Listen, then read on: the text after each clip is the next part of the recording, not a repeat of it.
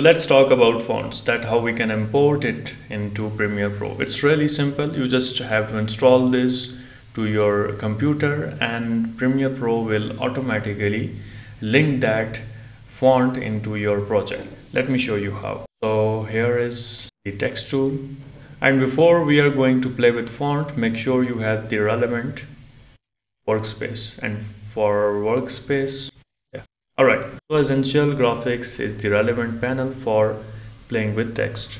So sunset. Let's assume you are bored with this font and you have tried your best to make this font look cool but it's not helping and uh, you want to download some other fonts. And for that uh, we have a website called DaFont you can open DaFont and here you will get the free fonts. Let's click on all new fonts.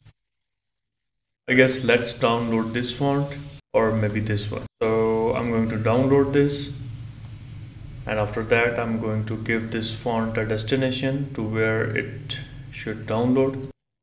And uh, in the download folders after that I will open this and double click on this and hit install.